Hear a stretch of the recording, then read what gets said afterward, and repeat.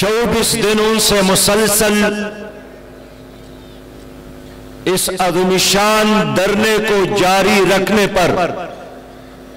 میں کراچی کے عوام کو مبارکباد پیش کرتا ہوں،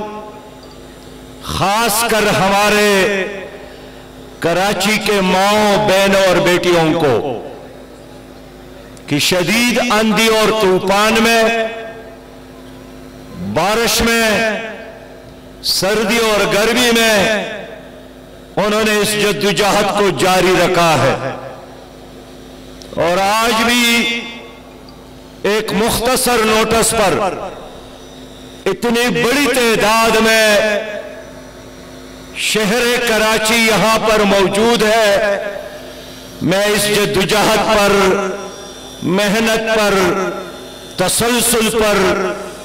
شاباش دیتا ہوں۔